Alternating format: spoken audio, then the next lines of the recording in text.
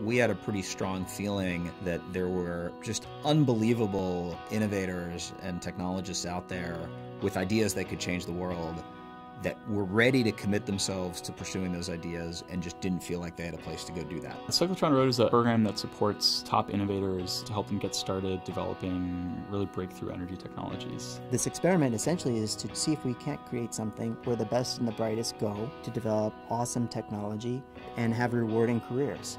Um, and honestly, there's no place like that right now. We run a national competition to find innovators from across the country. If you're selected, you get basically some funding to support you, some funding to support your project, and then we open the doors to uh, Lawrence Berkeley National Lab to you. The biggest barrier to getting started with a new idea in hard tech is you can't just sit on a, on a sofa and hack away at your laptop to develop your prototype. You, know, you basically need a, a world-class research lab.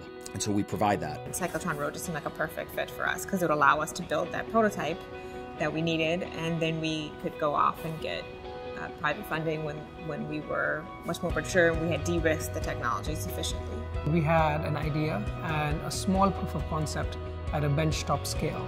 With Cyclotron Road, within the last year or so, we've been able to move from that point to a pilot scale demonstration.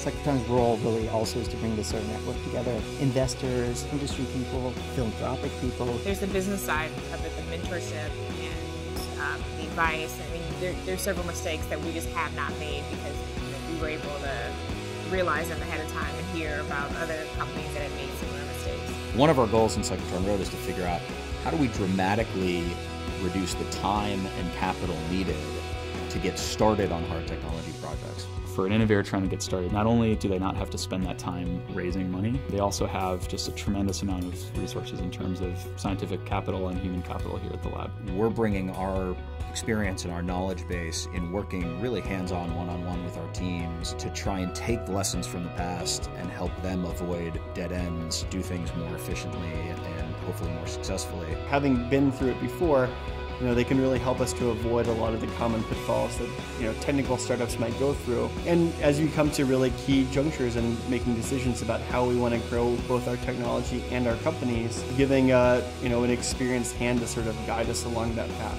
One of our new cohort members what's the catch? This is such a great opportunity. And we're like, there's no catch. Like, this is what you get. Yeah, if you're the best and the brightest in technology and you want to make an impact, come here. That's it.